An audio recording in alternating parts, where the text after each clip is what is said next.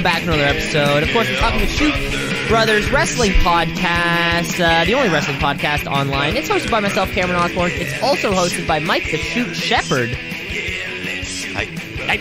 And uh, you're listening to episode 170. Uh, the road to WrestleMania has begun. And um, while Elimination Chamber coming up in a couple weeks, exciting action on All Elite Wrestling, and again, just another week in truly in, in the sport which doesn't end, never stops. That's right. I mean, even uh, even when the shows go off the air, half of half of wrestling these days is all the online drama, the dirt sheets, the tweets, uh, everything. Exactly. You We know, m- the the promotions that don't have a television deal. So you only get a glimpse of, of maybe someone who popped up somewhere or new champions here new champions there. And uh, it's always exciting um, especially on a day like today where something else is happening in the world. Of course the uh, beijing 2022 winter olympics are also occurring today. However mike today is also the nba trade deadline day uh, which is a very exciting day for basketball fans. Trade deadline days across all sports are always a blast. yeah, I mean, uh, the NBA, it's just one hard deadline, right? Yeah, it's uh something like it's like 4 p.m. Eastern or something. There is a fucking boop. That's that's that is the time. Yeah. because I remember baseball, it was always weird. They'd have like two different deadlines. Well, yeah, they have a thing like an arbitration signing deadline. Yeah. and then so it's- uh, who knows? I don't even know how the hell baseball works in the first, how it's even played in the first place. Let alone uh, the Raptors have made a deal already, sending Goran Oh. Dragic and a uh, future first round pick over to the San Antonio Spurs for a few players. Don't really know why yet, uh, but the last time we uh, dealt with the San Antonio Spurs, some good things happened. So uh, hopefully we'll see similar results as we get in here uh, to the podcast talking trade deadline days. And i can think of no better way to talk about the nba trade deadline which is by crowning a brand new tweet of the week champion. It's the tweet of the week it's the tweet of the week. Uh, if we can take ourselves back to the NBA trade deadline in 2010, maybe? Uh, Carmelo Anthony was traded from the Denver Nuggets to the New York Knicks for a whole slew of players. Uh, and it, nobody knows who really won that trade in the long in the short term. The Denver Nuggets definitely won that trade. In the long term, eh, nobody really knows. Uh, but he was one of the faces that you know big names get traded on trade deadlines, and big names win Tweet of the Week championships on trade deadline days. Uh, because this week's Tweet of the Week champion is none other than Carmelo Anthony. oh, wow. Uh, um, a photo. Uh, someone put a, put up a photo of Law online. this looks like a classic. This looks like a photo just ripped straight from 2005. Uh, with John Cena and Carmelo Anthony posing at some kind of event. Carmelo Anthony responds to the photo saying, "Weird. I only see myself." Hey. Everyone's in All on this one. Everyone's in, in on on it. it, Carmelo Anthony, you are uh, our brand new Tweet League champion. Possibly the first. Um, I got to say, I think you're the first uh, basketball player, NBA professional to uh, to win the award. Yeah, I would uh, I would think so. I mean, we've seen some crossover in the wrestling universe between uh, basketball before. Of course, yep. Shaquille O'Neal uh, has performed with both AEW and WWE. Yeah. Dennis Rodman's showed up. We've Karl had lots of Malone. Yeah, so no stranger, but congratulations, Mr. Carmelo Anthony. Uh, his first ever championship in the world of sports. Except uh, he won a he won a college title. He did win a. Uh, Okay. He won. Uh, he was at Syracuse, so he would have won. Syracuse. He would have won that All right. championship uh, before making his way to the NBA, where he hasn't won shit. Let's get into uh, let's get into this week's episode of the podcast. Then, shall we? Uh, let's start off uh, with our Friday night action. As promised, always, uh, let's bring you some All Elite Wrestling Rampage. Rampage. Rampage.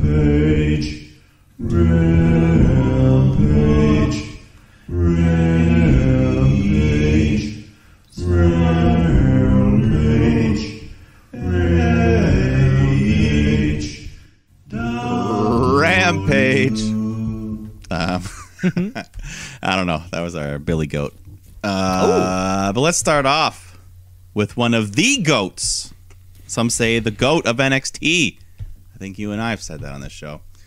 Uh, but that's not where he is. We're talking about AEW. So we got Adam Cole, baby, taking on Evil Uno.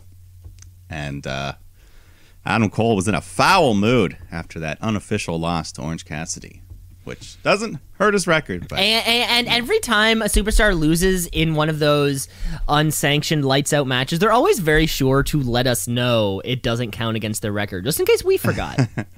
yeah, just in case. But uh, he's still mad, takes it out on Evil Uno, just beats the crap out of him, super kicks his head off, hits the boom, gets the easy win there.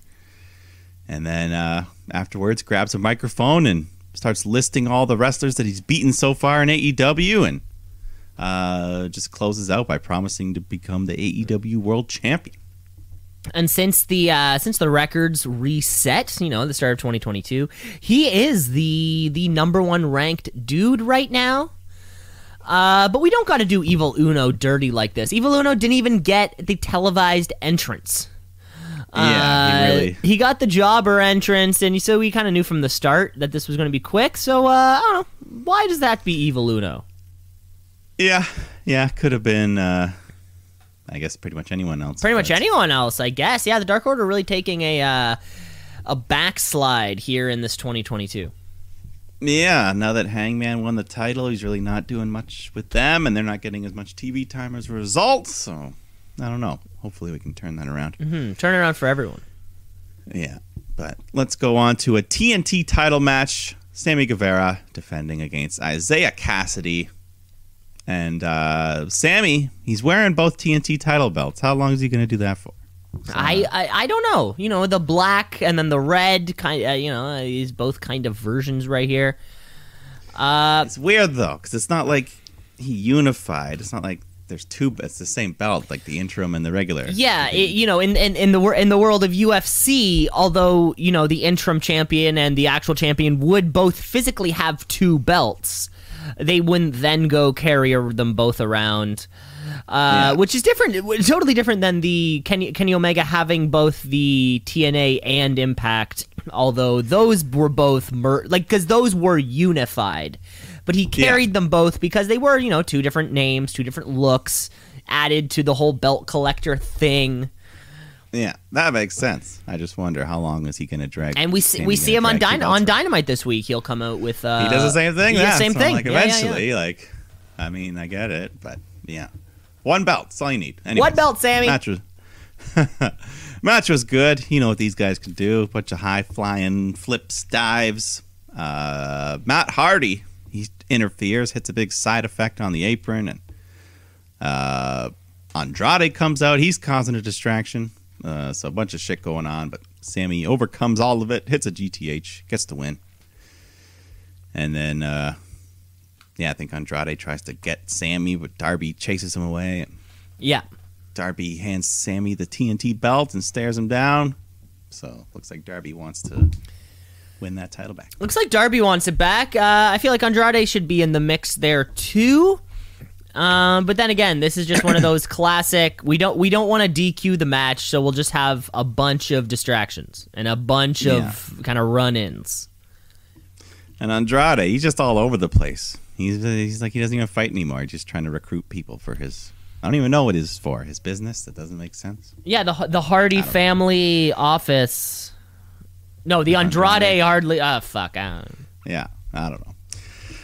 Let's go to some women's action. Thunder Rosa taking on Mercedes Martinez, making her AEW singles debut here. So, uh, Rosa trying to get some revenge for Mercedes costing her that TBS tournament match.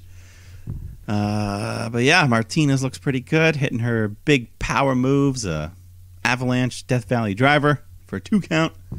But then Thunder Rosa fights back. They go to the floor. Uh, Mercedes gets desperate, pulls this steel pipe out from under the ring, and just bashes Rosa in the head, causing the rare disqualification. Chris Jericho was letting you know he's like, "This never happens in AEW." A DQ. Well, and you know, and like we had just mentioned before, these never do happen. Yeah, I mean, it was very rare, but uh, it was about as blatant as you can be. You can't just bash your opponent in the head with a pipe. so, uh, yeah, there you go. And the, the main event of Rampage, we had Ricky Starks defending his FTW title against Jay Lethal. So, yeah, the title means nothing, but the match itself was still pretty good. Uh, yeah, just some good back and forth stuff. Lethal, he gets control, so Power Hobbs or Powerhouse Hobbs comes down, jumps on the apron. So Lethal drop kicks him to the floor, and then Dante Martin appears, does this big springboard dive onto Hobbs to take him out. So Lethal goes for lethal injection, but then Starks catches him midair into the Roshambo. That was a pretty good reversal there. That was the three count. um, an incredible spot. I that that was a watch it a couple times and just appreciate it kind of Yeah. thing. That made the match there at the end. Yeah, that, that honestly, honestly, that one maneuver there at the very end made it. Um, but Yeah. yeah, and which is funny. I feel like Ricky Starks this guy where he's kind of he's turned into this rampage guy. He's uh, he fights he like he's almost guaranteed to fight on Rampage every week. Yet I feel like we never. I feel like we know nothing about him. Yeah, pretty much. He's just kind of like he's in that classic vein that all these other AEW heels are, where it's like they they dress, they have cool clothes, and they seemingly have money for some reason, Yeah. and they're mean. Uh, but yeah, but uh, but honestly, that that uh, that that finishing maneuver was enough for me to put over the whole match. Yeah. yeah. Awesome finish. Uh, Ricky Starks retains the title. And that was Uh, yeah. Do we even call it? I mean, I guess they all of these ha- all of these matches have been for that FTW championship, as as, as even even though uh, we don't care much about it. I mean, he did beat Brian Cage for it, who we haven't seen in a long time. That's a good point. like. Yeah, Brian Cage. Where's he? Yeah. Um. Who knows? Who knows what his uh contractual status is or something. Yeah, I don't know. I, I remember seeing something about his wife shooting shooting off on Twitter, saying like, "Oh my, you never use Brian Cage enough. He should be world champion." Something like that. So Yeah. maybe well. that's echoing his sentiment. Maybe. Uh, everyone, everyone can shoot their mouth off. Easy there. Easy, Yeah. easy there, Miss Cage. Yeah, Miss Wolverine. Miss Wolverine. that was a lot of fun. Uh, great, great ending to the to another episode of Rampage. Going for that four uh, with no hook though. So uh, say what you No will. hook. No hook. No hook. Not every week. Got to keep them special. Gotta keep them sporadic a little bit. uh, so let's move on over to um, uh, same night. Hey, we're still talking Friday night on our road to WrestleMania. The build has begun, uh, so let's get into some SmackDown Live. Okay, folks, it's Friday night. It's time for SmackDown Live. It, uh, it used to be on Tuesday, but then uh, I think it was on Friday before, though. No, no, wait. They used to film it on a Thursday and then release it. It's just SmackDown Live. Uh, where who better to kick off the show um, than the Tribal Chief, our Universal Champion, Roman Reigns, the SmackDown Tag Champions, the Usos, Paul Heyman, the entirety of the Bloodline kicking off the show. Um, with, uh, you know, and the big topic on everybody's mind, I think, is the Royal Rumble. Remember, this is our kind of fallout show from the Royal Rumble. What the hell happened? Yeah. I mean, they basically confirmed. They're like, yeah, we pulled the big ruse on Brock and, uh, yeah, cost him the title. And even though he won the Rumble, uh, yeah, basically, whatever. We're going to beat him at WrestleMania. Went a bit long here. Started rambling. Uh, and it was about to get a lot worse because Goldberg music hits. And, uh, yeah, he just gets in the ring, says, Reigns, I acknowledge you as my next victim. So uh, you, me, Elimination Chamber for the Universal title. So uh, yeah, we were supposed to get this exact match two years ago in Saudi, but we didn't. See, and you For, you uh, know you know that Vince is back there like clamoring over long-term booking and he's like we've been booking this feud for 2 years long term Yes. but yet Spear any versus any, spear, have- any other like little bit of long term like wait didn't they just hate each other kind of thing is completely forgotten about nobody even thinks about it yet this is the long term booking payoff that Vince McMahon's been waiting for. What a crazy person. What a crazy person he is. Yeah, I mean, uh, thankfully this is only next weekend, so we're not gonna have to see too much. Just one quick. Yeah, at least it's not at least it's not many many weeks of this. Uh of course Roman Reigns is the biggest star in the company. He's going to have a match at the chamber and in Saudi Arabia. Maybe this is just the best way to make it happen. Uh, because I feel like other than this, we'd be getting a like a like a like a Kevin Owens repeat or uh, you know so, something that we've seen. uh, Well, I mean, I guess shit, we've seen this before too, kind of. But Yeah. you know, like without it just being like you know, we could put Roman and Kevin Owens in a steel cage and have it be you know, it could be that again, or we just do this, fucking get it over with, move on. Yeah, no, I think, uh, and with a show that's going to have two chamber matches on it, you know, you can have a shorter. This can be like a five minute fight between these two, not as important. Third or fourth important match on the card. Yeah, I mean it's Saudi, so some of them they'll all be happy to see Goldberg, but yeah, most of us don't care anymore after the twelfth time. But whatever. Yeah, I person I personally don't. I mean, don't Yeah, it was fun the first couple times, but now we're like, yeah, we get it, we've seen it. Well, especially because Uh, I feel like I feel like Goldberg and Brock, like there was history there. You know, there Yeah. was that you know the kind of tumultuous departure, and then of course you were there for the survive the Survivor Series that changed the world, uh, or changed professional wrestling forever. Arguably, it kind of changed professional wrestling Yeah, forever. it was crazy. Um, but you know, Roman Goldberg, what they, they just they both have spears. You know, if I mean, for, with that logic, you know, like Charlotte Flair should be taken on Edge. Uh, it's uh, yeah, I wouldn't rule it out. I mean, I neither would I.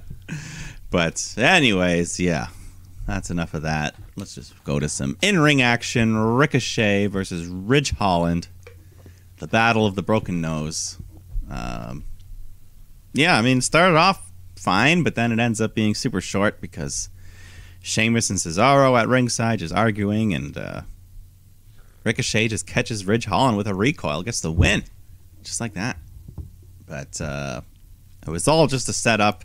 Sheamus is pissed off, demands a tag match, so we just jump right in. Sheamus and Holland versus Ricochet Cesaro, the original tag match from that pre-show. And yeah, I And- mean the wrestling was fun. it ends pretty much as quickly or non-ceremoniously as the Ricochet Holland match right before that. Yeah, I mean, uh, yeah, we didn't get a whole lot here. Just kind of, yeah, Ridge Holland comes in, hits Cesaro with the Northern Grit, gets the win. It, it and it, it is funny uh, when these types of things happen. We'll see it with tags often, but it's never it's never a 15 minute match that then devolves into another 10 minute match. It's always a one and a half minute match. And, and then the second one that follows is also never 15 or 20 minutes. It's always like two and a half. It's like they, why not? Uh, they could have just made the first match the entire length of time or make the second match the entire length of time. Why you kind of split it up in two? Maybe just for the commercial break? Maybe either way, I just feel bad for these four guys. Yeah. just kind of stuck in this mid card hell. especially because the mid card championship uh, over here on SmackDown is kind of so seldomly seen in the first place. Here we are thinking, Yeah. well, these are all guys who should be at least in the hunt for Mixing the IC title. Yeah. Yeah, exactly. So unfortunate. Um, and then we get some singles action from normal tag team uh, stars. Jimmy Uso taking on Erik of the Viking Raiders. who uh, are in line to get the next tag title shot. So, yeah, this is one way to drag out the feud, like they like to do. Well, it's So, one way to drag out a tag feud. yeah, but uh, Erik ends up taking the loss after Uso hits a Superman splash. Everyone's doing this Superman pose now. Uh, Superman splash is that what is it was? Are we calling it that on commentary now? I don't know. Well, he did like the arm. He did the arm out again, uh, but it still leaves us leaving like, what the hell was the point of that? I mean, it's Um, still yeah. The impact is the same. Exactly, right? When a match is as long as a squash, how am I supposed to care about the outcome? Really, you know, because I, I understand. You know, you have a guy, you have you have these big motherfuckers out there in a squash match. I get it. I get what's happening. But when it's two people who I think should be going at it, well, it's disappointing. Yeah, and I mean, they're supposed to be your next opponent, and you already just showed how easily you can beat them on your own. So it's like, where's the hype in that? And we will, and we will see by the end of, uh, by the end of kind of the SmackDown here. There was one match on this card that was longer than three minutes and fifteen seconds. one, and we saw we did, and we Um, saw a lot of in ring action this week. Yeah, I didn't. Is it the next match or was it the main event match? The main, the main event was the only one longer than three fifteen, but it was still somehow under ten. yeah. Uh. Well, let's go to this next match. We've got Natalya taking on Aliyah. Battle of the Canadian girls here. Now you like The to see, you like to see it. Yeah, but Aliyah, local Toronto, so I'll give her the edge. Uh, and she's got a nice uh, Aliyah 317 shirt. I like that. It's fun. That, that's fun. Nice playa. Nice play Yeah, on it. That's fun. know? It's something. Something for her. And uh, I mean, it's March. I don't see Natalya wearing any merch, and she's fucking. She doesn't have to wear merch. You know the Hart family. You can She do, doesn't have to. You can do whatever you want. Uh, anyways, uh, this match it wasn't uh, like you said, it wasn't very long, but it was longer than three seconds this time. So uh, yeah, got to see some more moves. Aliyah hits her cool. Uh, she does like a handstand on the top rope into a Hurricanrana. So cool little move there, and uh, yeah, they fight outside the ring. Natalya gets thrown into the barricade. Aliyah rolls back in the ring, and Natalya gets counted out. So another win for Aliyah, who remains undefeated on the main roster. wow. I'm like, Now this is what we like to see, right? yeah, I like it. I'm liking it. Uh, still, like, no Xia Li. We saw her like once backstage staring someone down, but And then and then and then she never saw her again. Mhm. It's a weird one. so I don't know. But uh, Drew McIntyre comes out to talk about returning at the Rumble and uh, the guys that injured him in the first place, Corbin and Madcap. So Corbin comes out to respond. Madcap tries to sneak attack Drew, but Drew threatens him with his sword. Uh, then tells him a bad joke and hits him with the claymore. Not the sword, his kick. Uh, and then tells Corbin, "You're next." So You're next. Didn't somebody else say that before? Um, yeah, this, uh, yeah, Drew McIntyre is way better than all of this. Um, Yeah, this- Hopefully, we get the. I mean, you know, the the promo skills, his intensity, his you know his matches, even like his connecting with the audience, his fucking main event. Ever since ever since he claymored Brock over the top rope, he's been a main Yeah. event star, and you know for the entire fucking time. So hopefully we can Yeah. get this blow off soon, freeing him up to maybe do something a little more in line with his uh, with his in ring ability. Yeah, uh, he's booked to fight Madcap at the Elimination Chamber pay per view. That'd be nice. Some yeah, reason. get it out of the yeah. Let's let's Uh, get that blow off match. Out of the way. Yeah, hopefully. Focus on some real shit. Uh, we got some footage of Sami Zayn at the red carpet premiere for Jackass Forever. Uh, but then Johnny Knoxville comes up to him and says, "Hey, you were told not to be here," and has him escorted out. And then cattle prods him from behind. Wow, Yeah. vicious. Did you uh, have you seen the film yet? No, we're uh, we are we are looking to find a time though, Jess and I. Have you? No, I think I'm supposed to go tomorrow night. Good, hopefully. good, good, good. Yeah, looking Good. forward. Yeah, to it. me too. Uh, as always, you know. I definitely, I I'm definitely in. saw two and three in theaters. I don't know if I saw Jackass one in theaters, but Yeah, Jackass 3D. That was one of the best 3D experiences. I've had. Is this one? was- Is this one in 3D? Do we think? Probably not. no, I don't think. No. I think that ship has sailed, but they made good use of the technology in the third one. They- Amen. It was proper 3D. Good. You know, some films just threw on the 3D without actually filming in 3D. Hmm. But anyways, uh, Nakamura takes on Jinder Mahal, and uh, Rick Boogs' guitar appeared to be malfunctioning during the intro. I don't know if Yeah, there was a little bit of unfortunate, uh, something unfortunate there. I don't really know. Yeah. So he just did the Freddie Mercury thing. The hey ho. Anyway, the match was really nothing special. It was a Jinder Mahal match, and uh, eventually Nakamura hits the Kinshasa to get the win. So at least Nakamura is back from injury. Getting hopefully. yeah, at least getting you know back, getting a win. But it was like 2017 all over again, rekindling a Well, rivalry Nakamura won that once competed for the WWE Championship. But the right man won this match. yeah, yeah. If only. I mean, that was, yeah, poor Nakamura. Anyways, New Day taking on Los Lotharios. Uh, we should mention Big E has been quietly but officially moved to the SmackDown roster here. So no more, no uh, invitations needed for him.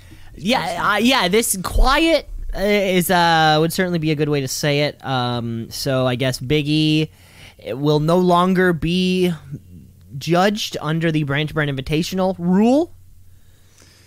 Yeah, and I mean how. Uh, I mean, this is how little they think of him. He was traded for future considerations. A former world champion. Wow, like former like this year or like you know this yeah, like months kind of like this months ago. Yeah, Yeah, like oh yeah, this year even day one was when he lost Mm-hmm. it. So yeah, crazy stuff. But I mean, at the very least, New Day's back together. Uh, Xavier's still out, so I guess maybe that's why. They that's did it. yeah. That could be why they wanted to do it. You know. yeah. So, uh, anyways, I mean, the crowd was still hot for the New Day, and the Lotharios hang in there for a bit, looking pretty good. Get a couple near falls, but the New Day fight back, hit the midnight hour to get the win. Um, which is good for them, I guess. Uh, Yeah. I mean, like we said, I mean, this bad for Big E. I mean, it seems like the singles push is over. I don't think he has any. I mean, WrestleMania will probably just be in a tag match. Yeah, unless we can, unless you know, we can put these belts on him. Hopefully, uh, on the yeah, the Day. Usos got to drop him eventually. But yeah, th- there's no clear direction for either of these teams coming into the chamber. So, I think it was a couple chambers ago where the chamber match was a tag match, correct, or it was a team tag team match. Yeah, we have had a tag team chamber and the fucking Lucha House Party. That's what it was. Yeah, they're hanging off the top. I remember that. Yeah, it's going crazy. Mm-hmm. But uh, we got one more segment here. Sonya Deville is in the ring. Charlotte Flair comes out, and Sonya tells Charlotte that Becky Lynch has informed her that Ronda told her that she's challenging Becky at WrestleMania. A lot of he said, she said. Yeah, so uh, just like that, uh, she expects a contract signing on Monday. So that means Charlotte, you need a WrestleMania opponent, and uh, I'm gonna let you uh, decide for yourself. So Charlotte just starts cutting a promo, putting herself over. Says Ronda's scared to challenge her, so I'm gonna pick. I'm gonna pick Sasha Banks to fight at WrestleMania.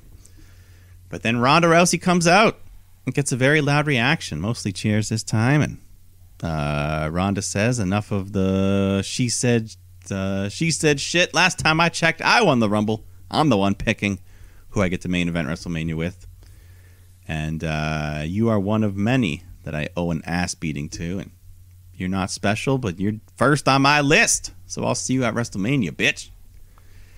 Uh, then Charlotte pulls out a zinger, says, "Yeah, well, this title is my baby, and she's prettier than yours." Woo, woo, coming after the kid.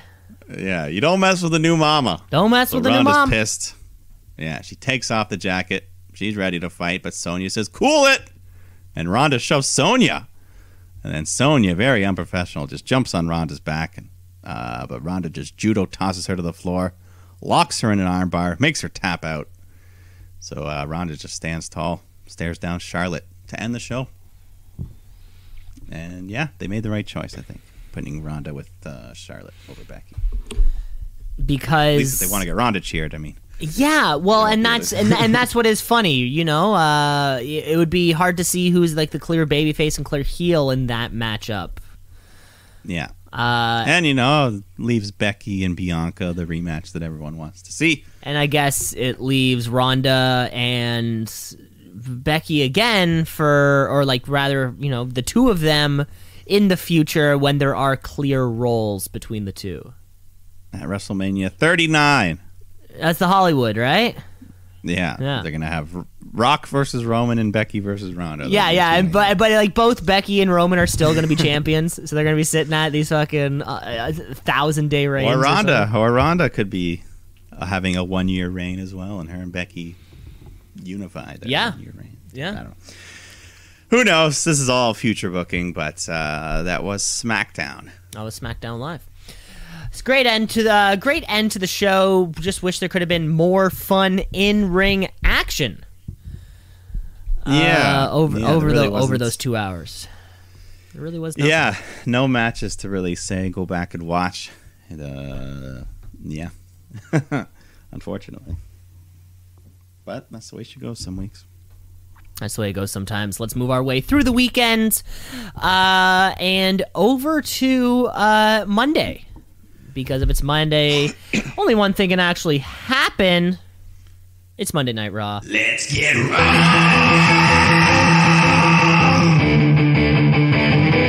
Let's get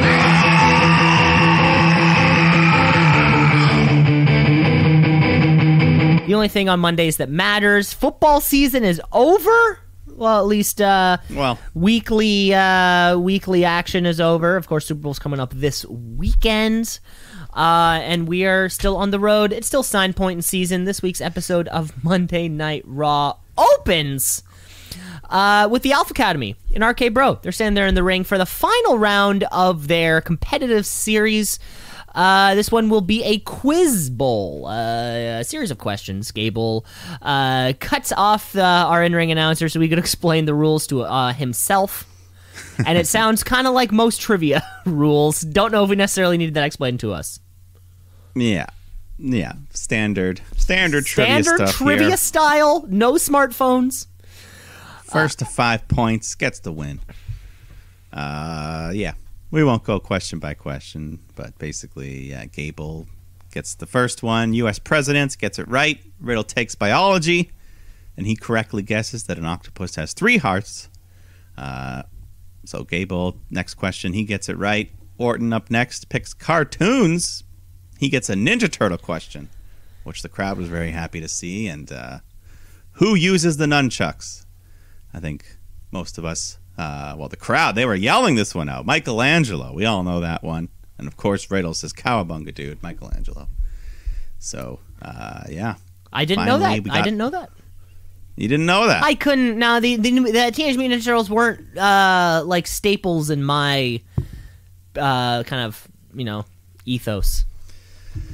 They weren't staples, but I still think, uh, Like I know I could name all four of them, but if it was like which one wore the yellow bandana, I would have no idea. yeah. Well, no one wore the yellow, so that's even. Purple? Pur- no, it's purple, Yeah, blue, red, Red uh, and orange. orange. Yeah. Okay. Okay. See, like I have Okay. bits and pieces of knowledge. Yeah, not enough. Not I'm enough. glad, uh, Not enough. Anyways, Otis, he picks geography and he gets that one right. Uh, Riddle picks pop culture. It's a question about Justin Bieber. Uh, neither him or Orton know the answer, so they get it wrong. Alpha Academy with the steal, they get it right, so now they're only one away from the win. Uh, it's a question about Shakespeare. Otis keeps saying ham, but Gable keeps shushing him and says Romeo and Juliet, which is incorrect. So Riddle comes in for the steal, says Hamlet, which Otis was like, ah, I was trying to say that, even though he's just saying ham. Anyways, RK Bro, they pick sports, uh, and it's a question about the Denver Broncos. And wouldn't you know it, we're here in Colorado. Uh, so, of course, um, they pretty much got a free lifeline. It's multiple choice. So Randy Orton asked the crowd, hey, who's the, uh, I don't know, what is it, most games played quarterback or something? Something like that.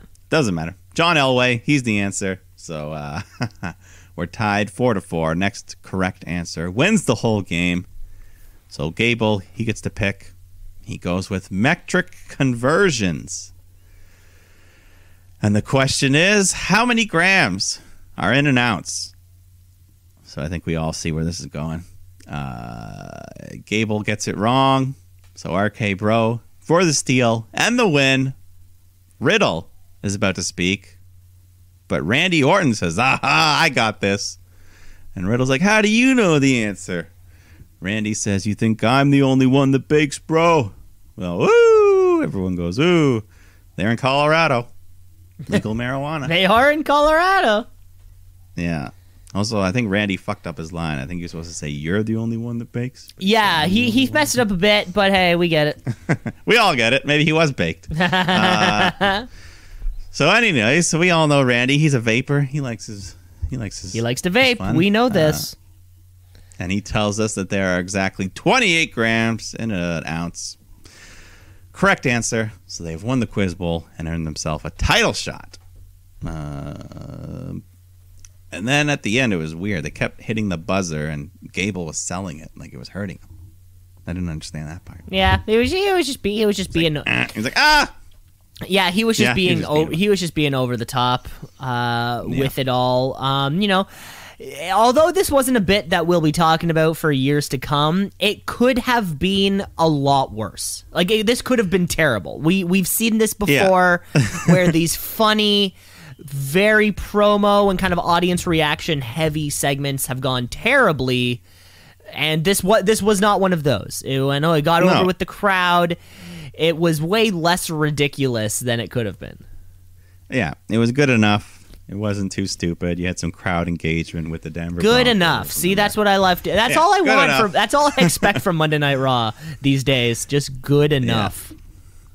Yeah, and uh, we followed up with a match. Street Profits came out to fight the Alpha Academy, and yeah, the match as well. It was good enough. You have two really good teams here, and uh, Ford once again. This is his new new part of his repertoire. This Superman dive to the floor he does, just crazy stuff. And uh, back in the ring though, Gable counters Dawkins, rolls him up uh, for the three. So Alpha Academy get the win. Gable with a bloody mouth there. Bloody mouth. Yeah, something happened. Yeah, I don't really know what happened there. Uh, yeah, decent tag. Yeah. Uh, Street Profits is kind of floating around right now. Yep, very much so. Yeah. Who knows? They'll probably have some big multi-man tag at WrestleMania or something. Right. Well, well, well, you know, we we will probably have that Andre the Giant Memorial Battle Royal.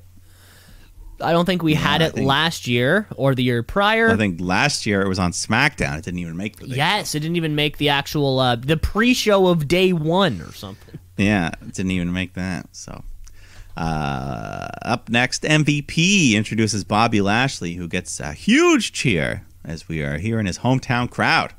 So this was babyface Bobby. He was high fiving the fans. They were chanting his name. And yeah, feeling good. Uh, Yeah, that must be tough to book where you're looking at your schedule of live shows. You're looking at kind of like the booking of, you know, your actual programs leading up to pay per views, and then you're like, shit, we are in our top heels hometown. You're like, fuck. Fuck. Like you, Yeah. you can't you can't spin it in a way that gives you the result that you probably want. yeah, and I'm glad they didn't try. They let him lean into it. He was happy to be there. They acknowledged it was his hometown, so he didn't come out there and be like, "Oh, I hate this hick town," or anything like that. Oh yeah. Well, has anyone ever like has anyone ever gone in on their hometown? Like I, I feel Yeah. like MJF even wouldn't even do that. No, it's been done. People Yeah? have done it, but yeah, just for the heat. Yeah, just like you know, you're like, "Welcome Toronto, you guys fucking suck." Yeah. like boo. No, I think I think like Canadians have done it. Like that's why I moved to L.A. to get away from this shithole. Oh yeah, yeah, yeah. Okay, I can see like something that. like that. Yeah, moving. You know, I, that's why I moved to the sunny streets of Florida. Yeah. or- okay. Okay. Exactly. Okay. So, anyways, MVP Lashley, they just cut a promo, talk about Lesnar, that upcoming Elimination Chamber match. So. Mm-hmm. And then more therapy. Alexa Bliss, uh, therapist gets her to hand back the replica Lilly doll, and she starts crying. But you know, no freak out. She's still just slowly transitioning more and more to the goddess. Well, and they have a shirt now at uh, www.shop.com. It's uh, like Lilly in a straight jacket in a padded cell, and it says something like Alexa Bliss goddess or something like that. Okay, we'll see. I didn't see that one yet. Uh, AJ Styles takes on Damian Priest, which on paper this is a pretty big match. Uh, I mean, up until recently, Damian's very protected, AJ one of your top guys, but uh, no, it ended up being a pretty quick match, under five minutes, I think. Um, still pretty good wrestling, but uh, AJ hits the phenomenal forearm, gets the three, a clean win over Damian Priest once again which has started to, all to lose its luster already. Well, yeah. I mean, this is Damian Priest's third loss in, um, kind of, kind of, you know, a month maybe, a little bit less than a month. Yeah. Uh, he first took that first loss to Kevin Owens, the first actual pin loss, uh, and then it was a DQ, I think, a couple weeks back, and now this. Uh, and for we were talking about this streak of his for months on this show. We've been talking about the streak, and it feels like it's it died without anyone really talking about it. Like nobody, yeah, nobody was really pumping, even on commentary. like Jimmy, uh, you know, none of the commentary team really felt like they were giving me the. He's never been defeated on the main roster, and then even when it happened, it was more just like a shock, just like if any shock when somebody beats the champion in a non-championship match. I felt like there should have been more fanfare to all of this because Damian Priest has been crushing it for your whole fucking brand for like you know this man's 40 can, Yeah. can we cut him some fucking slack he's 40 Yeah, no, they are. I mean, ever since the stupid Damien side of him has come out, he's. Uh, why does everybody need a He's his- side of them to come out can't they just fucking go in the ring compete and win Yeah, I don't know. I think that they booked a U.S. title match for next week, so who knows? AJ might even take it from him. Yeah i mean well maybe not before the chamber because i think know. aj is in that chamber match i think Oh yeah, he is. Yeah, so uh but yeah it, it feels like it's uh it's coming it's coming. Uh, they finally announced the women's elimination chamber match. Uh, for the right, the winner faces Raw Women's Champion Becky Lynch at WrestleMania. So you got Liv Morgan, Rhea Ripley, Nikki Ash, Doudrop, Bianca Belair, and a sixth mystery. Uh, we don't know. We don't know yet. we just don't know Anyone? Yeah. Uh, Bayley, return of Bayley. could be Asuka, who yeah either of those two people Yeah. Uh, Miz and Maryse come out for Miz TV. They bring out their guests, the Mysterios, and everyone's bickering. The crowd's chanting cheater at Miz. Uh, and Miz disrespects Ray, so Dominic gets in his face. And Miz says, Hey, you sure you're not Eddie's son? Which was a fun little throwback. classic throwback So this causes Dominic to shove Miz and uh, leads to a match between the two of them. Uh, Dominic's in control. He goes for a 619, but then Maryse trips him up. The referee sees this, ejects her from ringside. And, uh, as she's arguing, Ray trips up Miz on the other side. So some fair turnabout there, and uh, Miz is pissed. Dominic rolls him up and sneaks out with the big three count. Yeah, but this was barely a match. I swear, uh, backstage fights have lasted longer than this. Yeah, it was really all about the ringside drama. Um, yeah, I don't know. Miz and Maryse, they're they're just kind of jumping into another feud, and it doesn't really. Yeah, with another two people. Yeah, mom or uh, yeah, I don't know. Uh, Bianca Belair takes on Nikki Ash. Little elimination chamber tune-up. Uh, Belair gets her leg caught in the ropes, so she starts selling her knee, and uh, but she's still able to just muscle Nikki up with one leg, hits the KOD, and uh, yeah, it was kind of a cool look as well. Bianca, her hair wasn't quite tightly as wound up, so it was kind of cool seeing some little bangs and stuff from her. We've never seen it before. Wow. Usually her hair is Yeah. so. I mean, that whip, it's so tightly around, you don't want it coming loose. that's a good point. That whip. I don't know where the real hair begins and the fake. I hair. who knows? I that's you know I think that should be that's the real that's the real That's like a trade secret. yeah that's the real shoot. Yeah. I have seen a picture of her once without anything in her hair, and she looked still very long hair. Still, I, I imagine you know to, to put on extensions that long. I feel like it needs to be long Yeah, enough in the first place. Exactly. Yeah, a good anchor. But uh, we go backstage. Dana Brooke thanks Reggie for all his help and gives him a little kiss on the cheek. But then after, he's like, "Whoa, wait, we're just friends," and they hug, and so I don't know, romance angle. Another, I think, is this Reggie's second romance angle? Yeah, at least what he was with Naya before. I think so. Yeah. Uh, Kevin Owens takes on Austin Theory. This one was actually a pretty good match. Got a solid amount of time here. Uh, yeah, both men pulling out big moves, trading near falls. Eventually, Owens hits the stunner, gets a hard earned victory. Um, against Austin Theory, though, who, despite the loss, this was the longest match of the night.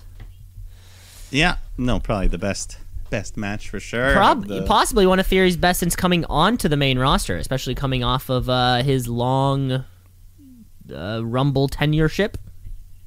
yeah, I mean he'll be in the chamber match as well. Yeah. So we'll see. He'll probably have he'll probably have a good showing out there.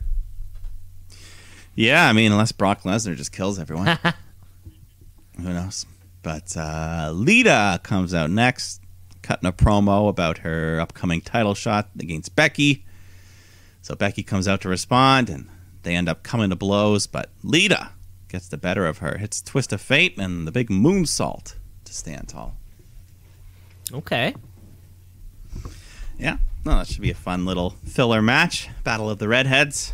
is that what we're Is that what it's being called? Is that how it's being uh, Yeah. spun? That's what I'm spinning. Right on. Uh, we get some more women's action. Liv Morgan taking on Doudrop.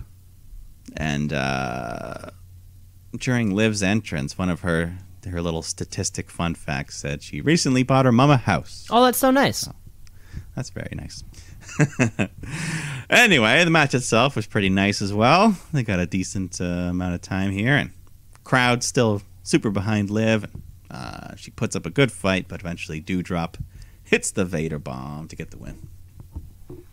Uh, Doudrop, you know, keeping momentum going. This was one of those. you- I thought both of these needed momentum, especially Doudrop being a heel. I think still. Yeah, um, I guess they're both in the chamber, right? Yes. Yeah. So, yeah, maybe they'll. Yeah, we'll see more But uh, Seth Rollins takes on Riddle, which uh, on paper this is a nice wrestling treat here. Uh, so it starts off as a good, you know, good competitive match. Riddle hits a big floating bro onto the floor, but then Kevin Owens shows up, attacks Riddle, causing the DQ, ruining a good match. So Orton runs out, hits an RK bro to help his bro, or an RKO to help his bro. uh, and then, of course, we book a tag match. So RK Bro takes on Owens and Rollins. And uh, yeah, it was fun. Crowd was hot. Uh, eventually, it comes down to the original match, anyways. So we're back to Rollins and Riddle. Rollins hits a curb stomp, gets the win. And this was almost booked the exact same way as we just saw the same thing on SmackDown, right? And Ricochet, Ridge Holland, and then Sheamus Cesaro came out. But uh, the answer, the answer to the length of the match must just be star power, right? This this kind of combo of four has enough star power for 15 minutes of wrestling, where the star power combined of Ricochet, Holland, Cesaro, and Sheamus is only four minutes worth. Right, Yeah. because I because it's we we did the exact same thing. We did the exact same thing. Just one lasted a long time, and one didn't last very long at all. Uh, but you're right. It was fresh matchup, you know. So uh, there's always that like slightly extra level of excitement. You Rollins Riddle, we're like, okay, I haven't seen this 200 times. Let's let, let's go for it. Yeah. Uh, you know, but yeah, no clear winner, and then we kind of go to this uh, this double thing. So, you know, I guess that's the way you got to do it. mm-hmm. But uh, yeah, that was Monday Night Raw. That was Monday Night Raw. Uh, Mike, should we take a break? Yeah. We're going to take a break. We're going to come uh, back with all the action from this week's edition as 2.0. Um, NXT 2.0, of course. Of course, we're talking about Dynamite. We still got a lot of stuff uh, ahead of us, so folks, you're going to want to stick around. Let's shoot, yeah, let's shoot, yeah, let's shoot, brother, brother, yeah, let's shoot, yeah, let's shoot, Back here with part two of the fod- podcast, folks. Woo! Hope you, uh, hope you, thanks for sticking out through the break here. Um, through uh, w- w- what this crazy NBA trade deadline already. Um, Mike, uh, when is the uh, NHL trade deadline? Soon. It's in February. Uh, Any any hopes, uh, things that the Leafs could do? You think, uh, possibly? um, I mean, they'll nothing too crazy, but certainly buyers rather than sellers. Yeah. Uh, yeah. I don't know. Probably just try to get another D man, another depth forward or something, in case anyone goes down with injuries. But I don't know. I mean, we're still, yeah, still just chugging along. Doesn't matter until we hit the playoffs. Yeah, it doesn't. Uh, not, nothing matters until we hit the playoffs. We can move up a couple. Hopefully, we can move up a couple spots there. I think we're hovering around the fifth. Yeah, we can win. We've played a lot less games than everyone else because of. Oh, right, because a stuff, lot of so- postponing. But a lot, I bet a lot of Canadian teams are in that same boat. Yeah, so we can still win the division. I mean, Matthews can still win the the Rocket, maybe even the Hart. Wow. But yeah. Anyways, uh, hockey's going on. I mean, the Olympics. You've been watching any Olympic stuff? No. Not that it's. No. I throw it on in the background. I don't really pay. I mean, the women's hockey is good because it's still the top. The uh, the Americans versus the Canadians. That was a good game. Yeah, it's still it's still the top competitors in those fields. Definitely. Yeah, yeah. I mean, it's not like the the NHL where they can't go or whatever. The men's. Uh. Anyways, let's get into some wrestling, shall we? Let's get into um, the rest of our wrestling week. Of course, we've moved on through Monday to Wednesday, or so Tuesday. Uh, so let's get into this week's edition of NXT 2.0. NXT. What does it mean? I don't know, but it's some good wrestling. So NXT. Watch and see. Let a tap out a count out of one, two, three. So where the Dusty Cup tournament uh, continues to uh, to move along. We actually open up with one of the matches from that Dusty Tag Team Classic. Of course, we have the Creed brothers taking on the Grizzled Young Veterans, who are not too young either. It's almost an oxymoron there, but Yeah, more grizzled than young, but uh, yeah, semi-final match here. Hard hitting, crowd was real hot. This this whole night, this crowd was awesome. Uh, but they were cheering for the Creed Bros, just chanting Creed, Creed, Creed. Yeah, uh, just some awesome old school traditional wrestling. Uh, grizzled young vets. They uh, they slam the one guy underneath the, the bottom of the ring. They like catapult him into the steel beam that's holding the whole thing up. Uh, that allows the grizzled vets to gain control for a bit. They hit a doomsday device, and then they get Brutus Creed in the corner. I finally learned their names. So Brutus is in the corner, and then Julius comes running in. He jumps. Julius jumps over top of everyone, like right onto the top rope to hit a big superplex. And that's when the Creed brothers just unleash a flurry of offense and uh, get the three count to advance to the finals of the Dusty Classic. Which will be next week advancing to the finals. Yeah. Now it- I think they're gonna win it. Is that going to culminate at the uh, at the Vengeance Day? Yes. Next week they'll take on the winners of our other match. Yeah. But yeah, these Creed brothers, I think they're uh, they got something here. They're really Which is funny, Really um, because you know, no matter how green they kind of started, the two of them looked at first. Uh, they are the most important part of the Diamond Mine right now. Diamond Mine. Oh yeah, yeah. No, and they've got an intensity to them. They're like a, they're like a little Kurt Angle, Brock Lesnar type of thing. Almost. Yeah, that's a good way of putting it. Not, I mean, those are big, big names to follow in. Uh, but uh, yeah, looking good so far for the Creed Bros. Yeah, not too bad. And uh, in a ma- in a long match too. I felt like Yeah, there was actually time. There was some time for shit to happen here. Yeah. Uh, then we go to some women's action. Tiffany Stratton taking on Wendy Choo, who, much like me, has already had a lot of the fans. She's won them over. They were chanting her name. Uh, she was high fiving. She even gives a little mini teddy bear to a kid in the front row. He was super pumped. So nice little, nice little thing there. And uh, Stratton yells at Choo for stealing her credit card last week and going on a shopping spree. But Wendy doesn't care. She's uh, having fun. She's doing good. Her little her sloth style, uh, frustrating Stratton.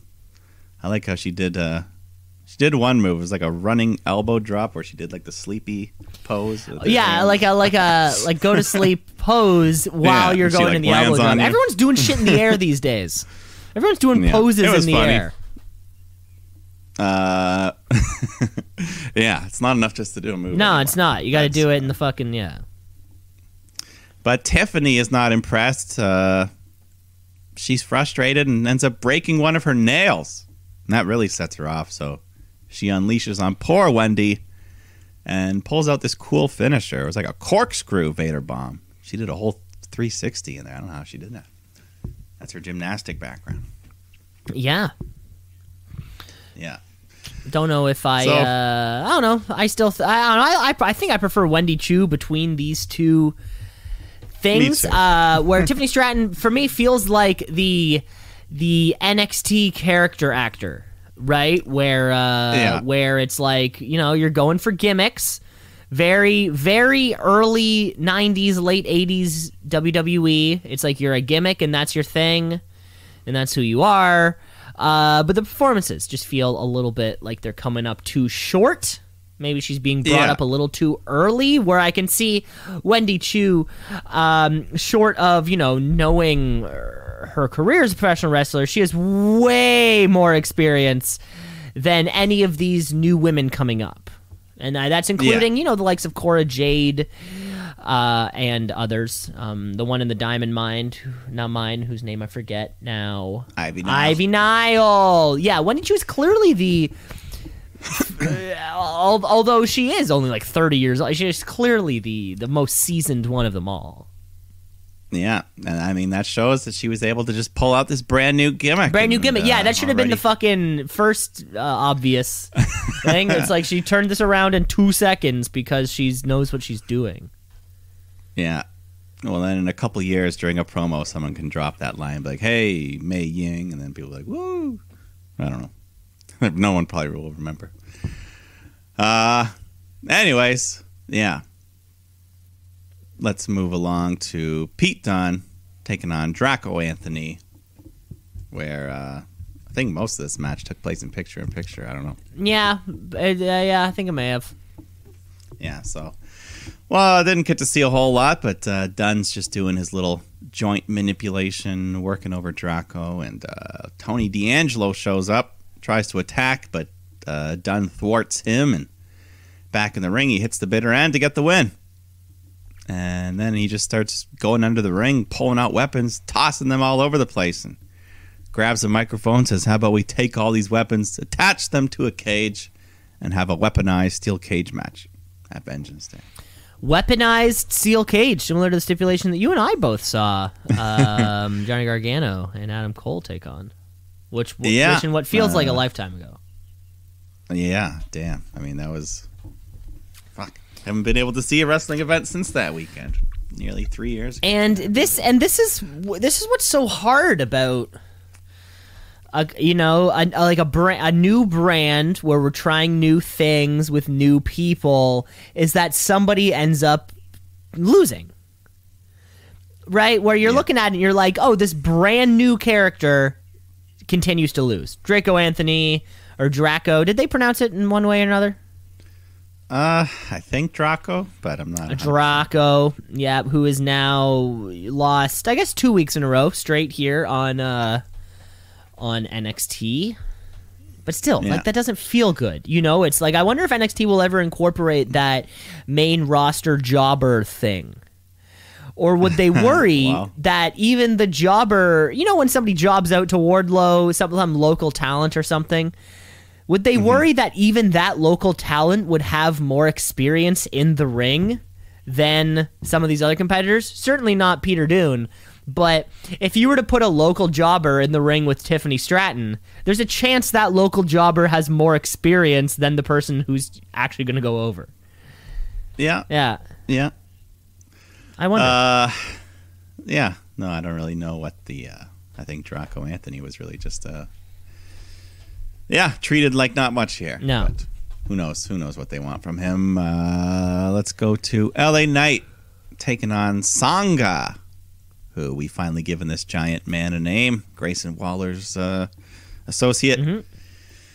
So uh, yeah, the match goes on. Waller distracts the ref, removes the turnbuckle pad, but then it backfires as Sanga is the one that gets sent headfirst into the exposed steel, and LA Knight hits the big neck breaker to get the three. So this monster has been defeated in his first match. already. Um, but Yeah. I mean, good for LA Knight to get a win because we've been saying this for weeks. LA Knight is literally the f- complete package. Yeah, yeah. Crowds liking him as this baby face, and uh, I mean, you and I have been saying he's main roster ready, but yeah, who knows what they want to do with him. Other than not bring him up to the main roster, I'm not sure. I don't know, but uh, we go back to the ring. Wade Barrett. We got a table. We're hosting a championship summit between Bron Breakker and Santos Escobar. So, not quite a contract signing, but pretty similar. They just kind of come out, sit at the table. There was still a table there.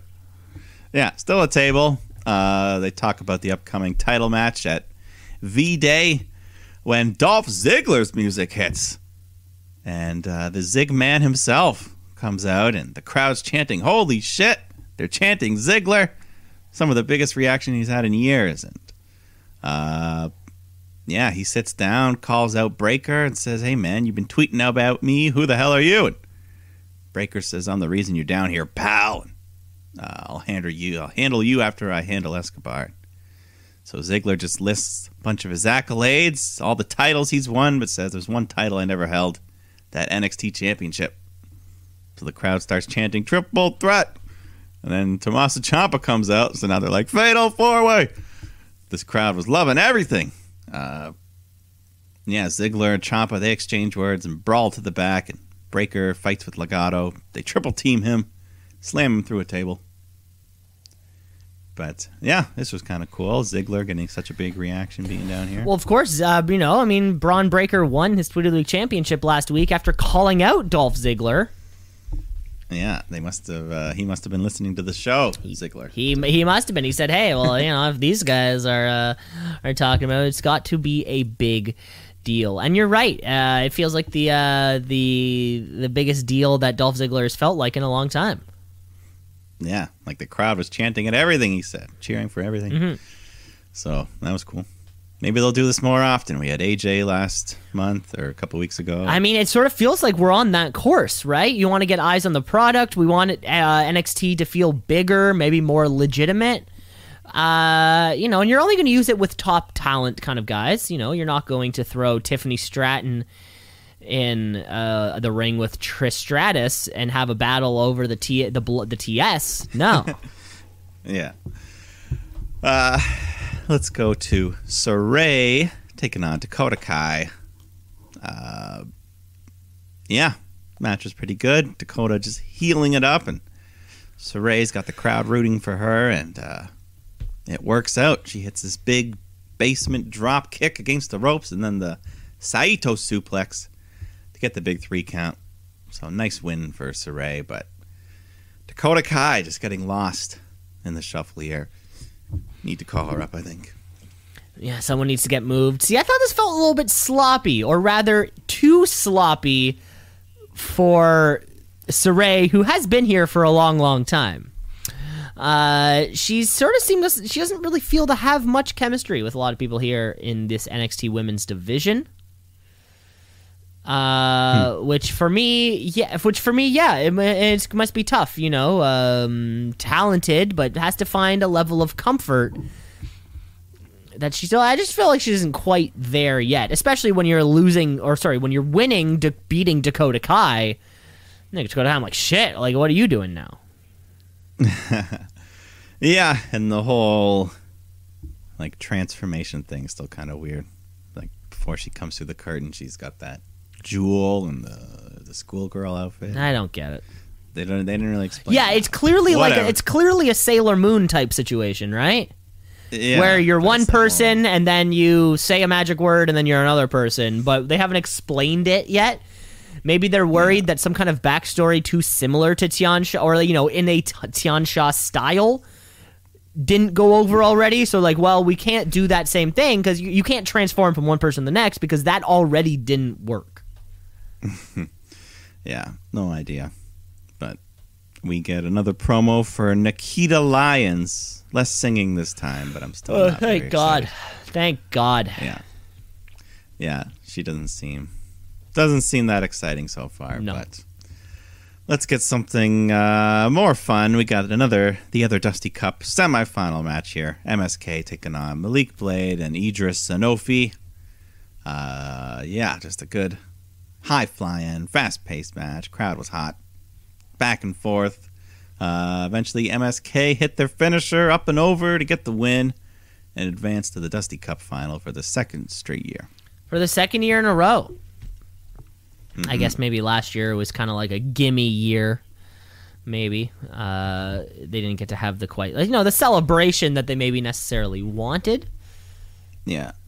Uh, but yeah, like, uh, but MSK was always going to win uh, here. I think. yeah, yeah. Yeah, that's the way it should be. And that MSK versus Creed Brothers, that should be a that should be a good match.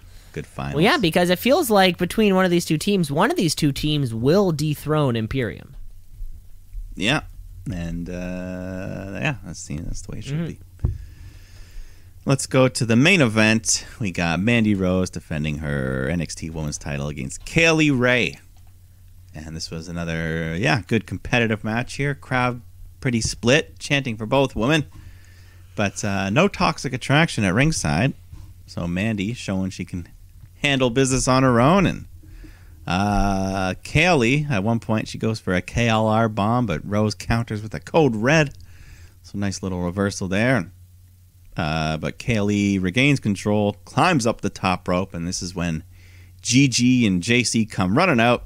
They distract the ref, push Kaylee off the turnbuckle, which allows Mandy to hit the C trigger, get the win, retain her gold. Uh, even with the interference, though, I thought this was a really good match. One of Mandy's best. Yeah, uh, it was probably as good as Mandy Rose's matches have been here in 2.0 since she's come back. Yeah. Uh, I think for me, this is another one. Uh, this is another one about length. Like a championship match that's under 10 minutes. You know where it, like it just feels it needs to be a little more important, especially because neither one of these two competitors are the Lesnar Goldberg types who beat you in less than 10 minutes. That's their thing. They are so incredibly powerful, and every single one of their blows is so devastating that after seven and a half minutes, you can't take it anymore, and you're pinned. Uh, in a situation like this, though, I feel like these matches need to be a bit longer because neither one of these two, neither Mandy Rose nor Kay Lee Ray, are so physically imposing that they should be, you know, that after seven minutes of beating, you're done.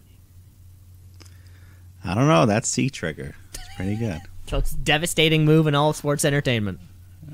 I mean, I think Kenny Omega even tweeted about it. He did. He did tweet about it that one time. You know, of course, of course. But I mean, we're talking. Just kind Omega. we're not about here. He's put on. He'll put. He can put on a seventy-five minute classic and uh, in uh, you know, in a blink. Yeah.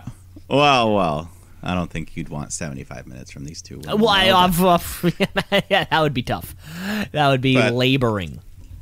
Yeah, but I get it. Yeah, they could have could have got a bit more, but I still enjoyed the match. Mm-hmm. Uh, but then afterwards, toxic attraction. They go to bash Kaylee in with her own baseball bat until Io Shirai comes out, makes a save. Her and Kaylee clean house. Stand tall is the. Uh, Io Shirai still kicking around down there. yeah, I mean Zoey Stark was talking to her. She's like, "Hey, you sh- I'm injured. You should go find a partner without me for the Dusty Cup." And Io's like, "I don't like people." hey, I'm injured. You should go up to the main roster. Yeah.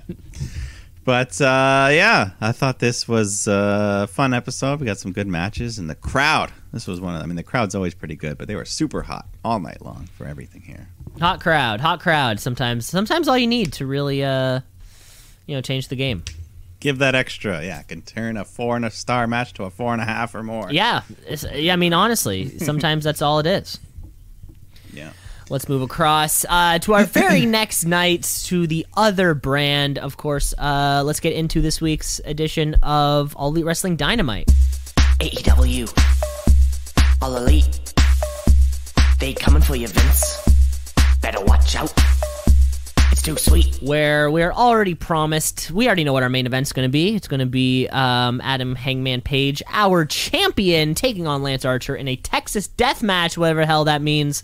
I hope that both Schiavone and Excalibur explain it to me the entire time. but to kick off this week's edition, um, we're actually starting with uh, well, Wardlow kicks off this week's edition from live from Atlantic City, uh, coming down to the ring uh, carrying two cardboard cutouts um, of MJF and CM Punk, him in a submission. Uh, MJF sitting in that classic kind of CM Punk pose before handing a script over to Justin Roberts uh, to read, to introduce, of course, FTR, Tully Blanchard, Shawn Spears, and then finally MJF. Yes. Um, comes out carried on a throne. Not just a throne, a palanquin. At least that's what Excalibur said, and uh, prompting JR to say, What'd you say? A what? yeah.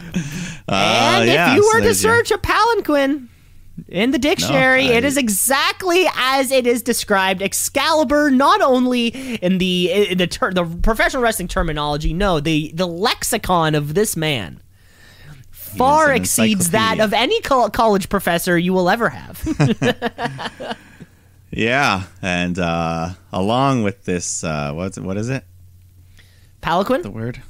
Yeah, the palanquin. Uh, we also had some beautiful women with MJF. The first one kisses him on the cheek, but then the second one, he just hardcore makes out with her.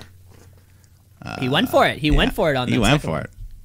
Uh, so yeah, he gets in the ring. Confetti's falling. MJF grabs a mic, starts putting himself over for beating Punk. Uh, yeah, crowd just giving him lots of heat. Uh, and he's like, but you know, there's one guy I couldn't have done it without. Shawn Spears, baby. So once again, Wardlow just getting the shaft. Uh, MJF says it's time I became your AEW World Champion, and I agree with him. But uh, CM Punk does not. Comes out and he says, Today I've got some backup with me. As Darby Allin and Sting come out to his side with baseball bats. Punk demands a rematch. MJF says, Whoa, I beat you twice. Punk says, I'm not talking to you. I'm talking to the guy that beat me in Chicago, Wardlow. So, uh, yeah, he says, You wouldn't have won anything without him, so grow some balls and leave these jerks, Wardlow. And uh, the two of them negotiate back and forth. Eventually, MJF says, How about this? If you find a partner, you and a partner of your choosing can beat FTR tonight, I'll give you your rematch. But your partner can't be Sting or Darby Allin. So, Mystery partner. yeah, a night full of mysteries. Uh, we didn't mention, but Tony Khan is promised. The Forbidden Door is being busted open. We're getting uh, some debuts of some sort, maybe even multiple. But, anyways, lots of mystery in this show. A lot of mystery in the show. Strong segment to kick off the week. Uh, also, if MJF's kicking off the show in a promo, it's probably going to be pretty damn good. Yeah, pretty much. Yeah. Uh, Wardlow hangs out though because he's got a match taking on the Blade, who uh, does pretty well. He lasts longer than most of uh, Wardlow's other recent opponents. Puts up a good fight, but eventually he gets caught in that powerbomb symphony. So that ends the match for him. This the symphony. Yeah. Yeah. Uh, then we got a teaser for Penta after the effects of that black mist kind of turn teasing this uh, returning as a darker form. What does he call it? He calls himself something. Yeah, well, not sure, but it was this entire segment narrated by uh Pac. Oh, okay. Yeah, it was, he was narrated by Pac, unless they were just kind of, in a way, taking uh, previous kind of promo f- audio and then kind of splicing it in there. Um, but yeah, uh, Penta kind of approached this graveyard thing. Although we didn't see the Kings of the Black or the Knights of the Black or whatever we're calling it. Although we didn't see them Yeah. this week, their presence, I, I, I think, will soon become huge. Yeah, I mean, we're still waiting for this uh, this first other person to join their group after returning, and yeah, we'll see if Penta comes back transformed in any way. We'll see if Penta comes back. See if Julia Hart makes that uh the transition over there. Yeah. Mm-hmm. But now it's time for the inner circle to come out because Jericho has called an inner circle team meeting. But at first, it's just Jericho, Sammy Guevara, and Jake Hager who come out to Judas. I haven't seen Jake Hager in a long, long time. No, he's uh yeah, been pretty quiet, but uh Jericho says we haven't seen Santana and Ortiz all day. But then their music hits and they come out on their own and Jericho asks them what the problem is. You know, a couple weeks ago you didn't tag me in, you disrespected me, you robbed the fans of seeing me wrestle. He started sounding like a jerk here. The fans were booing Jericho a bit. Mm-hmm. But I a little that was bit. the point. A little bit. Yeah.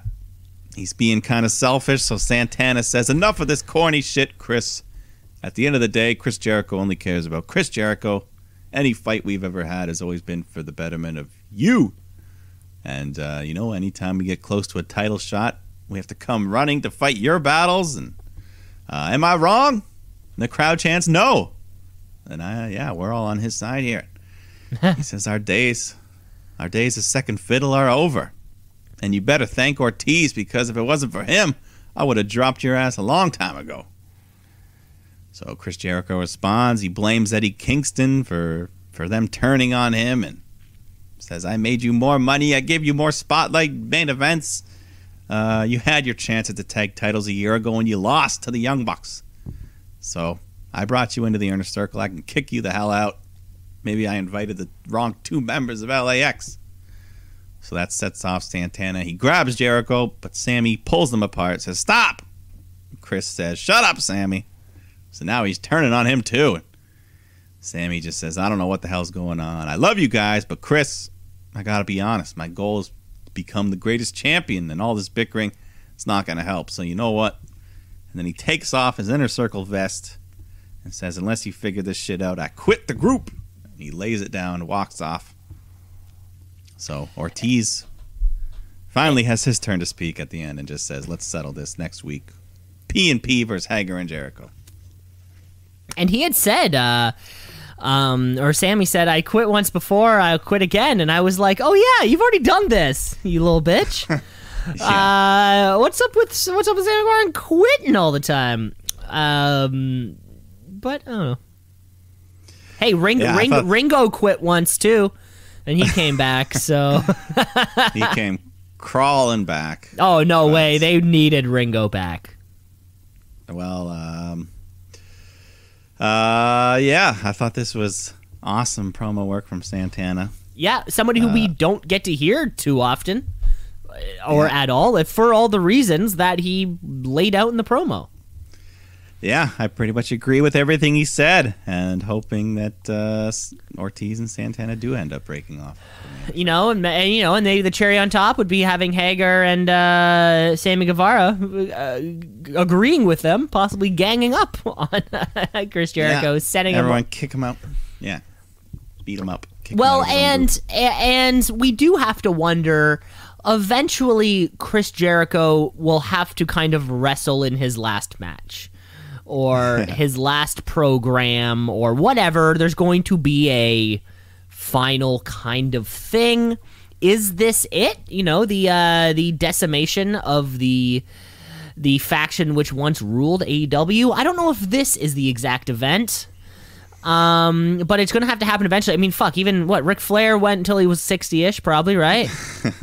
when was that? Yeah. How old do we think he was in that? Uh, the Shawn Michaels Mania match. I mean, I know he went back after that, or to Yeah. TNA. I think uh, I feel like he might have been under sixty in that match. You gotta wonder, right? kept- You gotta wonder. There's that point. Yeah, but uh, yeah, you know Jericho versus Sammy Guevara. That wouldn't be a bad retirement match. Have the Sammy, the guy you took under the wing, to be the one to clip your wings. Because you know, however it happens, Chris Jericho will be heavily involved in how it, that happens, and I think the company will respect enough of his wishes, uh, Yeah. you know, t- to go over the way that he wants to. Yeah, but uh, we'll see. I mean, I don't think anyone's going to force him into it. It's uh, how long he wants to go. Yeah. Yeah. Oh. Uh, then we cut backstage where Tony Schiavo- Schiavone's interviewing Roppongi Vice, which is the the team name of uh, what Rocky Romero and uh, Trent Beretta. Trent? Beretta. Yeah, Roppongi Vice. I didn't know. Is this their New Japan team name or something? Yes. Something like that.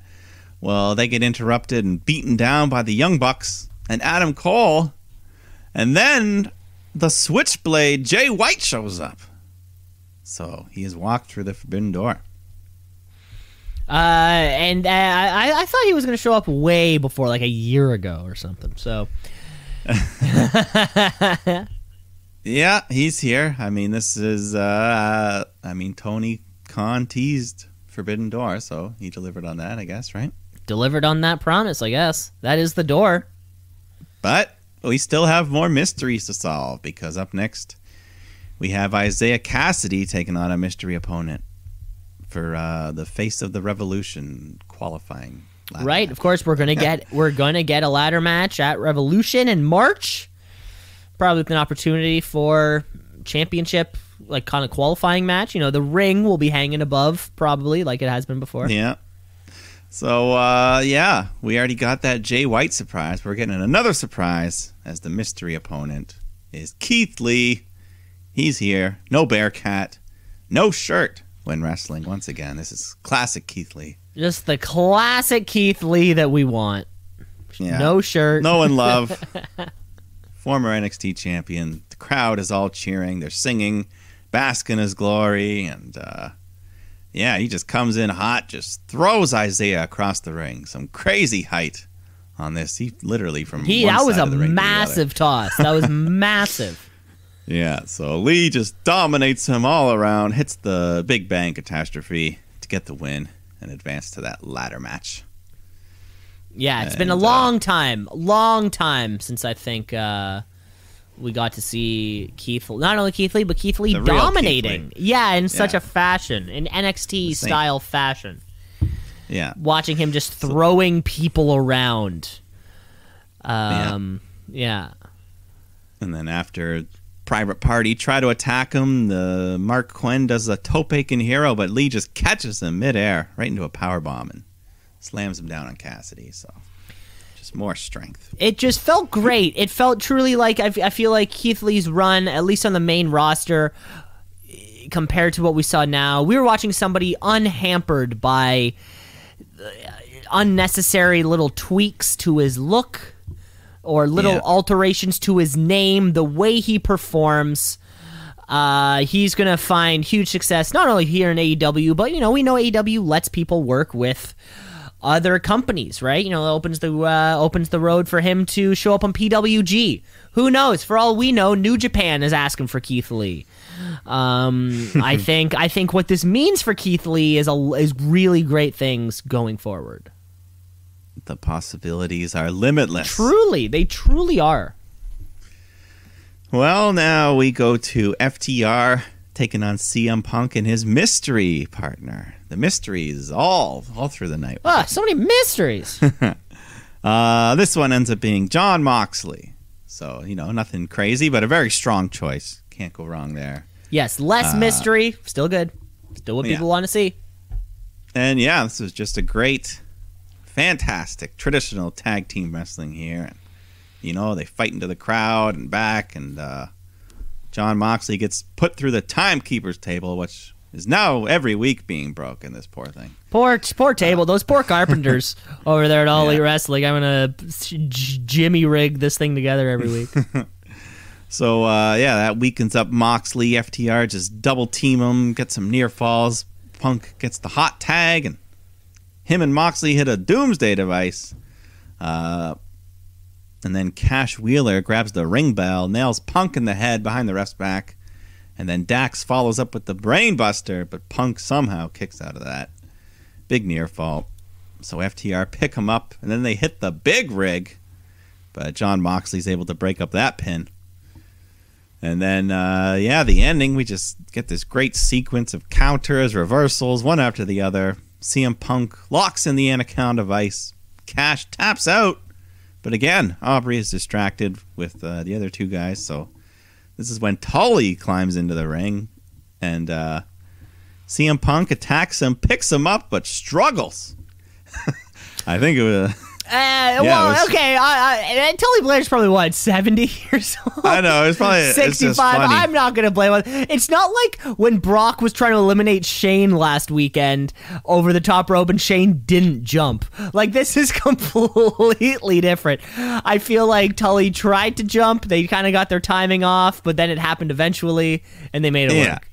No, it was just funny because I mean, CM Punk, he's done this move to Brock Lesnar, and Sheamus, and tons of big guys. Well, yeah, guys who guys who can thrust themselves up. Tully Blanchard can't do I know, I know. I just thought that he'd be strong enough just to muscle this old man.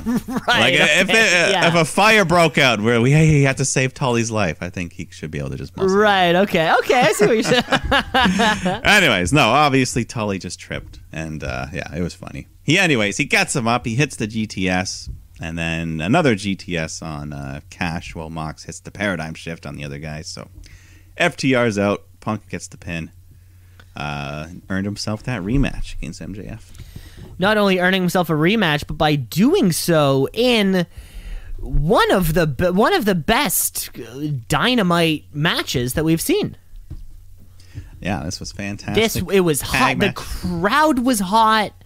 Everyone was hot in this, and it's funny. AEW, we we- you know we in AEW at least we know Moxley to be the singles guy.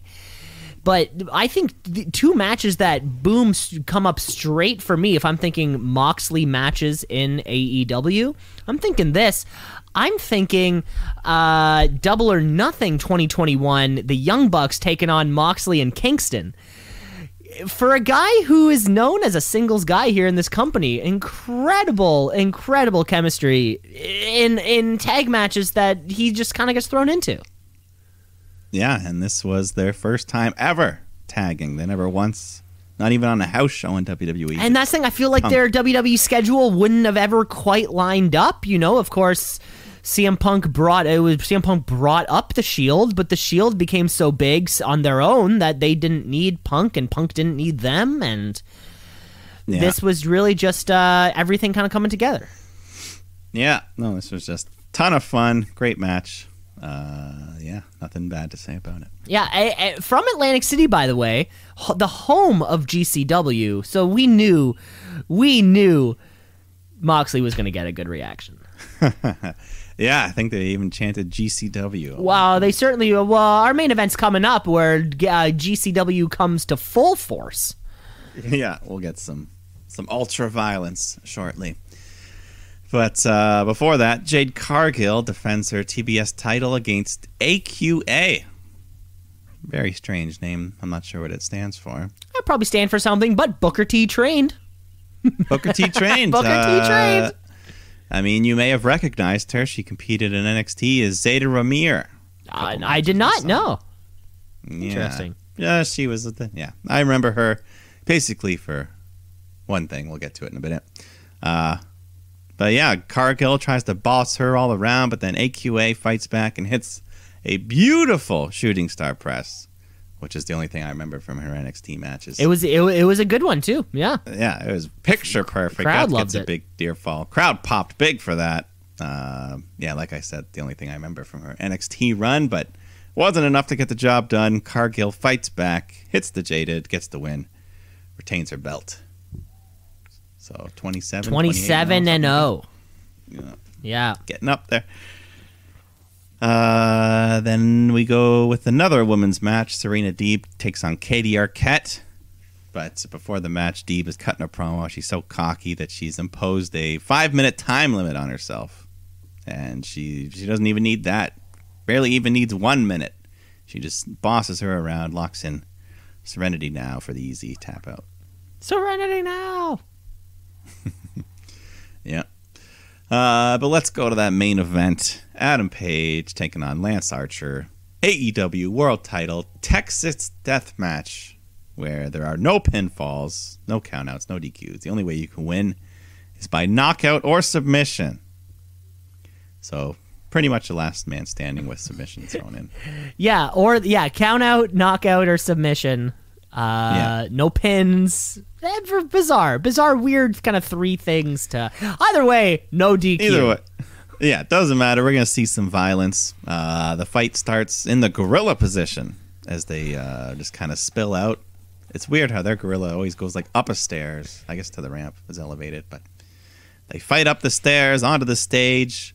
Uh, Page nails Archer in the head with his title belt, and then he smashes him through this glass tunnel. Which I wonder, what was that pane of glass doing there? Like the entrance tunnel just had glass in it. for some reason. Besides being there to be smashed through, like like Yeah. what's on the other side of the tunnel? Like it's not like Stone Cold was there and it breaks and he walks out the classic entrance. Yeah, I don't know. Doesn't matter. It was there. He gets thrown through the glass. And of course, that just gave him excuse to get the old razor blade. He comes up bleeding profusely. Uh, they get back to the ring. Hangman hits him with a buckshot lariat, but of course he cannot pin him. So the ref starts the count. But Archer just gets up at number nine uh, and grabs a garbage can lid and just starts beating Hangman with that. This is when Dan Lambert comes strolling out and he unscrews the top rope. Uh, very clever, as we'll see, because Hangman and Archer they fight their way into the crowd, and uh, Hangman does a big moonsault off a balcony, and then they go back to the ring. Hangman wants to hit the buckshot lariat, but now the top rope is broken, so he can't. Very clever. I love that. Smart move, smart move, and thanks uh, Jr. for letting us know that's what was happening. Yeah. So uh, Lance Archer then goes and grabs the the broken metal turnbuckle, and it's got the big steel hook on the end, and he uses that to just gouge the Hangman, uh, which causes him to open up, and he's now bleeding all over the place, much more than Archer actually. And Way more. yeah, this was a good. he this went was a good deep. He went there. deep on that one. he went deep and he'll yeah he'll he'll keep it going uh archer sets up two tables beside the ring and then peels off the mats to expose the concrete floor and this is when jake the snake gets involved he hits page with a clothesline which had the crowd going wild and he wanted to do a ddt but then archer got a little jealous so he's like no he stops him and uh, this is when hangman grabs a kendo stick starts beating him around with that but then archer uh, picks up hangman choke slams him onto a garbage can, crumples that up, and then he reaches into a boot, into his boot, and pulls out a fork. So just like Abdullah the Butcher, he takes the fork and just stabs away at Page's forehead. And, then the sick bastard licks the fork. and thanks for Jr. for letting us know that's a classic Abdullah the Butcher move. Yeah. But the licking of the fork. Now that was something new. That's where in my I was I was like even like huh, that was this moment where I'm like, do you think all elite wrestling stars get regular STD checks? That was the first I thing mean, that yeah, that's I a- mean you think that's a you risky think, move. You would think. Bizarre. Yeah, but not, uh, but not like weekly or anything. I was I, Yeah, I don't uh, know. And I'm sure that was improv. I'm sure he didn't plan to do that. He just did it on the spot. Yeah, probably, probably. Some sponsors would probably be like, "What the fuck?" yeah, TBS is sitting there like, uh, excuse me, sir. We, yeah, we mostly play daytime Tyler Perry shows. We're not licking bloody forks here. I mean, is that cannibalism? Uh, it'd probably be on a don't border somewhere. So, anyways, that crazy sick fork spot. Uh, but he's not done there. He goes and grabs the steel steps, turns them on their side, goes back in the ring, picks up the hangman. And I'm thinking, surely he won't do this. but then he just does. He tosses him over the broken ropes, onto the steel steps, onto the floor. He bounces hard. Crowd is going nuts, just chanting, Holy shit. Page is covered in blood. He's beaten up. Well, yeah, uh-huh. that's the bla- uh, the the blackout, right? The big move, holy shit spot. Holy, he fucking bounced off of that thing. Yeah, off the step, and the margin for error there is pretty small. Like, Pretty damn small, thing. and even I, on the replay, I just kind of in my head, I'm just like, boing, boing, boing. like he fucking skipped. That's yeah. The steel. Their steps are different from WWE. They're not like they're kind of hollow in the middle. So I yes, guess it gives a little bit. Yeah, of a little bit of give, probably making them a bit lighter. You can lift them up a little bit easier. Yeah. yeah. Still crazy spot. Uh, and then this is when Archer pulls out a chair that's wrapped up in barbed wire, brings that into the ring, uh, picks Hangman up, ready to slam him down onto it. But Hangman is able to grab a piece of the barbed wire right off the chair and just punch Archer with it. And then he wraps it all around his arm to hit a big discus, discus lariat. And then he drops the barbed wire to the mat. So when the referee goes to pick up the barb, uh, Hangman flips over the ref's back, perfect mount to hit the buckshot lariat onto Archer, off of the apron, crashing through two tables onto the floor. So just so many things at once, craziness. And uh, the ref starts counting. Page gets in the ring. Archer does not get up by the count of ten. So Hangman wins, retains the belt. Yeah, just a fantastic. in a big match. Paul Turner makes Yeah. the count. Adam Page retains his title after the match. Adam Cole, baby, makes way down to the ring, grabs the AEW title, and, well, gently places it over Adam Page's shoulder. As commentary leaves us uh, wondering the possibility of maybe Adam Cole as the next contender for that championship. Yes. Yeah, they he is the number one ranked, as we said. So, yeah, I kind of thought it was going to be MJF next, but it looks like they're booking Adam Cole, so that could be the Revolution match. I mean, that's a big time. That is a big time match. Um, even though this one, this one was also a big time match. Hey, Ar- Lance Archer started this matchup having no shot in hell of winning. Uh, but the match was laid out in a way that maybe uh, towards the end we thought maybe he could. Uh, Yeah, it although was- it didn't, although it didn't happen for him. When matches are this violent, uh, no one, there's no, there is victory and defeat when a match is this violent. And uh, Hangman Yeah. and Lance Archer comes out looking okay. yeah, you got your money's worth on this one. Lots of crazy, crazy spots, blood everywhere. Uh, yeah, can't complain about anything on that one. Uh, yeah, and that was dynamite. No, uh, no Bryan Danielson. I was hoping for the follow up on that offer to Moxley. Yep, no Danielson. That isn't to say that you know it's not coming. It's not coming. It might be. It's not coming. I just, yeah, I just want to know.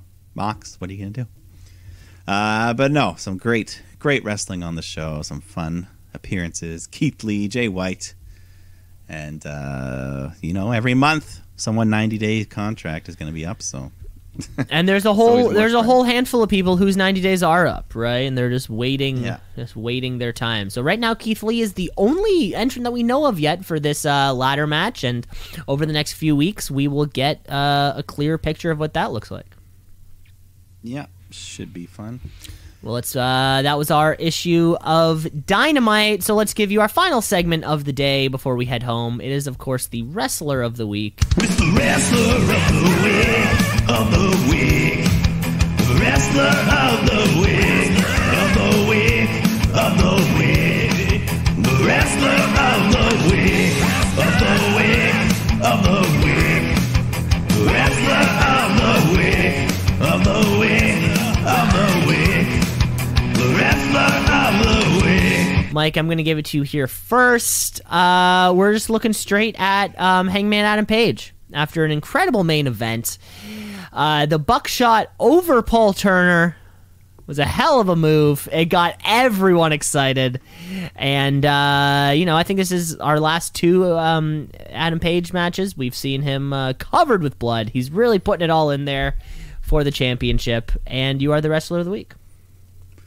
Yeah, I mean, Hangman, since winning the belt, he hasn't wrestled much, but every single match he's had has been pretty, pretty spectacular. So, uh, yeah, I'm gonna give him the unanimous decision. Hangman Page. I mean, Lance Archer put up a great fight as well, but Hangman took the bigger bumps. He bled more, so I'll give the edge to the Hangman. the Hangman, Adam Page, getting uh, getting him what he deserves, quite frankly. And uh, that's all the time we have for the show this week. Thanks for listening, folks. And like, subscribe. The show is everywhere. We'll be back next week as we prep ourselves for the chamber.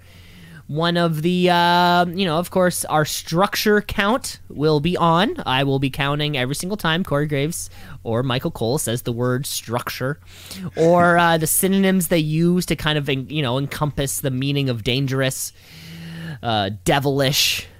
Uh, you know, any, any of these sorts of words that just describe how truly gruesome the structure is.